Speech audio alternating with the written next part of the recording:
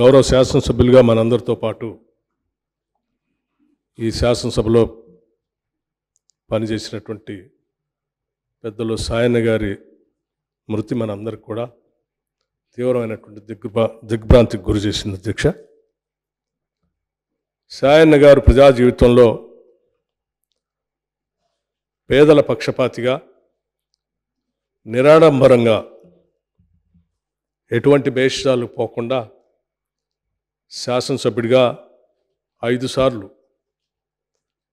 వారు పనిచేసినటువంటి విధానం గుర్తు తెచ్చుకుంటే తప్పనిసరిగా చాలామంది ఆయన ఆదర్శంగా తీసుకోవాలంత విధంగా పనిచేసినటువంటి రోజులు గుర్తుకొస్తూ ఉంటాయి అధ్యక్ష. వారి కుటుంబ సభ్యులకి నా ప్రగాఢమైనటువంటి సానుభూతిని కాంగ్రెస్ శాసనసభ పక్షం నుంచి తెలియజేస్తూ ముగిస్తూ ఉన్నాను. గౌరవ శాసనసభ్యులు సాయన గారు మన మధ్యలో లేకపోవడం అనేది చాలా బాధాకరమైనటువంటి అంశం అధ్యక్ష. వారు నాకు వారి కాన్స్టిట్యున్సీ పక్కపక్కనే కాకుండా కలిసి కూడా దగ్గర దగ్గర ముప్పై రెండు సంవత్సరాల నుంచి పనిచేసిన వాళ్ళం అధ్యక్ష. అయితే వారు శాసనసభ్యునిగా కంటిన్యూగా గెలవడం అనేది ఐదు సార్లు ఐదు పర్యాయాలు గెలవడం మరి ఆషామాషి విషయం కాదు అధ్యక్ష. బట్ మృదు స్వభావి ప్రజలతోని మమేకమై నిరంతరం ప్రజల పట్ల వారికి ఉన్నటువంటి కమిట్మెంట్స్ అధ్యక్ష. ఆ రోజుల్లో కంటోన్మెంట్ అనేది పెద్ద కాన్స్టిట్యున్సీ అయినప్పటికీ ఇక్కడ మల్కాజిగిరి ప్రాంతం కానీ కంటోన్మెంట్ ప్రాంతం కానీ నిరంతరం ప్రజలకు ఉన్నటువంటి ప్రజా సమస్యల పట్ల మరి గౌరవ ముఖ్యమంత్రి గారికి మరి గౌరవ మంత్రులకు నిరంతరంగా వారు వారి యొక్క సమస్యలు చెప్పుకోవడమే కాకుండా వారు నైన్టీన్ ఎయిటీ సిక్స్లో కార్పొరేటర్గా పోటీ చేశారు అధ్యక్ష దోమలగూడ ప్రాంతం నుంచి. బట్ ఆ రోజు వారు అక్కడ ఓడిపోయినప్పటికీ అదే డివిజన్ నుంచి గౌరవ ముఖ్యమంత్రి గారుకి రిక్వెస్ట్ చేసి వారి యొక్క డాటర్కు ఆ ప్రాంతం నుంచి కార్పొరేటర్గా కావడం నిజంగా వారికి ఉన్నటువంటి అంటే నేను ఆ రోజుల్లో ఓడిపోయినా నా బిడ్డనన్న గెలవాలనేటువంటి కారణంతోనే ముఖ్యమంత్రి గారిని అడుగుతా టికెట్ ఇవ్వడం అమ్మాయి గెలవడం చాలా సంతోషపడ్డాడు అధ్యక్ష. మరి వారి యొక్క కుటుంబానికి ఆ భగవంతుడు ధైర్యాన్ని ఇవ్వాలి.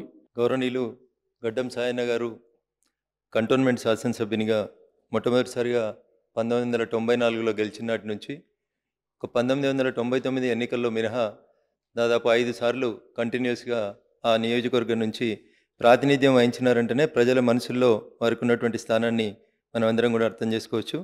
కంటోన్మెంట్ లాంటి ఒక టిపికల్ ఏరియా ఎక్కువ శాతం ఎడ్యుకేటెడ్ ఉన్నటువంటి ఏరియా చాలా రకాలైనటువంటి సమస్యలు ఉన్నప్పటికీ కూడా అనునిత్యం ప్రజల మధ్యలో ఉండి సౌమ్యుడిగా మృదు స్వభావిగా తనకిచ్చినటువంటి బాధ్యతలను అటు పార్టీ పరంగా కానీ ఇటు ప్రభుత్వ పరంగా కానీ తనకు వచ్చినటువంటి బాధ్యతలన్నింటిని కూడా సునిశ్చితంగా పరిశీలించి తానొవ్వక ఇతరులను నొప్పించక తన మృదు స్వభావంతో ప్రజల మనసులను గెలిచి ఐదు సార్లు శాసనసభ్యునిగా ఎన్నికైనటువంటి పెద్దలు గడ్డం సాయన్న మృతి పట్ల భారతీయ జనతా పార్టీ శాసనసభ పక్షం తరఫున సంతాపాన్ని తెలియజేస్తూ వారి కుటుంబ సభ్యులకి ప్రగాఢ సానుభూతిని మా పార్టీ తరఫున తెలియజేస్తా ఉన్నాం. మన సాయన్న మృతి పట్ల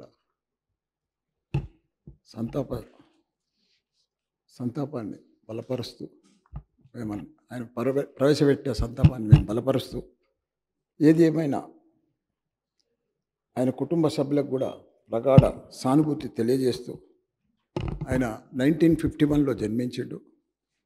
బీఎస్సీ బీఏఎల్ఎల్బి కూడా పూర్తి చేసిండు. సిండికేట్ సిండికేట్ బ్యాంక్లో కూడా ఉద్యోగం చేసిండు.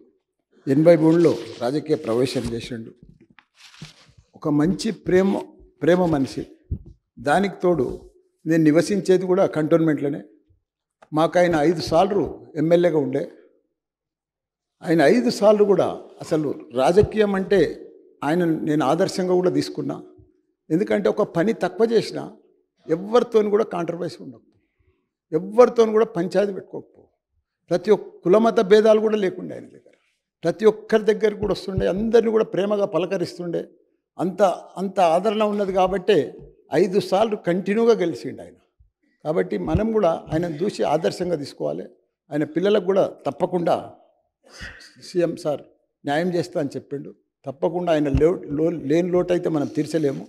వాళ్ళ పిల్లలకు మనం న్యాయం చేయాలని కోరుతున్నా బలపరుస్తున్నది.